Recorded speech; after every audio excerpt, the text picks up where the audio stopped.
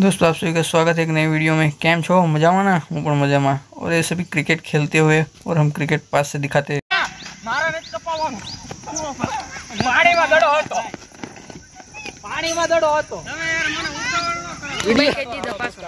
चालू से। फिर मैं निकल पड़ा अपनी मंजिल पे। जहाँ पर मुझे जाना है। हम तेज और फटाफट चलने की कोशिश कर रहे हैं हमारी मंजिल तक पहुँचने की। जितना हो सके उतना जल्दी हमें मेरे सामने सबसे बड़ी मुश्किल है ढलान। ये ढलान को पार करने के लिए सोचता रहता हूँ, तब तक तो मेरे पैर इस ढलान को चढ़ चुके होते हैं मैं कब आगे बढ़ चुका हूँ, पता ही नहीं चलता है। थोड़ा फिसलने का चांस रहता है, लेकिन फिर भी हम चढ़ गए अपनी चढ़ाई। ठीक है। लेकिन बहुत देर से जा रहे हैं। देख रहे हो क्रिकेट वहाँ पे खेली जा रही है। वहाँ से यहाँ तक पहुँच चुके हैं। लो आ गए मेरी मंजिल। में यहाँ सुबह शाम टहलने के लिए आता हूँ। शाम को मुझे बहुत अच्छा लगता है। थोड़ा ज़्यादा टहलता हूँ शाम को। सुबह में एक चक्कर मार के चला जाता हूँ। और मैं घर के नज़दीक ही है। इसलिए मज़ा आता है और नेचुरल हवा आती है ठंडी शाम को। और इस धूप के महीने में ज़बरदस्त एहसास कराती है। देख रहे हो ना? ज़बरदस्त जगह है। और यहाँ से मैं सोच रहा हूँ कि मैं अपने दोस्त की दुकान यहीं पास में पड़ती है तो वहीं पे एक चक्कर लगा के। यहाँ से मैं अपनी दोस्त की दुकान तरफ़ निकल पड़ता हूँ। मेरा लेवल वन पार हो चुका है। लेवल टू की तरफ़ निकल पड़ा हूँ।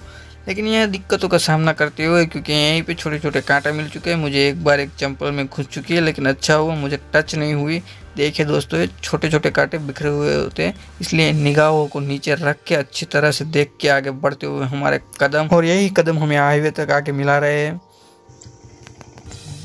पहले यहाँ पे कुछ भी नहीं हुआ करता था। बस बबुल के पेड़ थे बहुत सारे, और हम, हमारे दोस्त, यहाँ बजरंग बली की मूर्ति थी।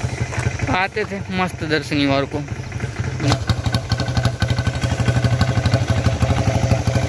तीन चक्का जा रहा है टेंपो है लेकिन तीन चक्का है।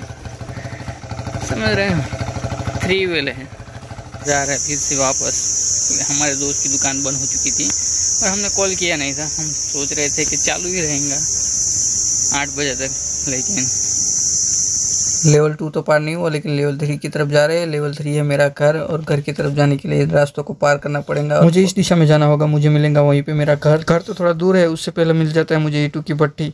और ज़बरदस्त। देखिए, एक तरफ़ ईटू की भट्टी पक रही है, दूसरी तरफ़ पकी हुई है, क्योंकि एक तरफ़ जो पक रही है, उसमें से गर्म गर्म हवा निकल रही होगी मतलब धुआँ। से भी शाम हो चुके हैं, साढ़े सात बज चुके हैं।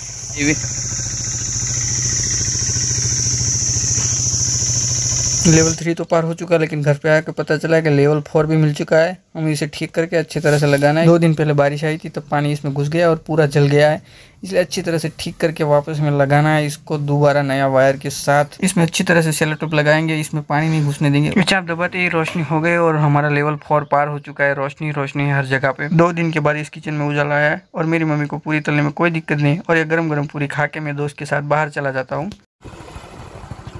मुझको कताव देते हुए मेरा दोस्त और यही दोस्त एक बड़ी खटिया लेके जा रहा है टू व्हील में और मैं पीछे नहीं बैठा हूँ। उसका साडू भी पीछे बैठ के जा रहा है। दोनों साडू भाई साडू भाई और ये वीडियो यहीं पे समाप्त करते हैं। दोस्तों, वीडियो अच्छा लगे तो लाइक कीजिए, कमेंट कीजिए और शेयर कीजिए।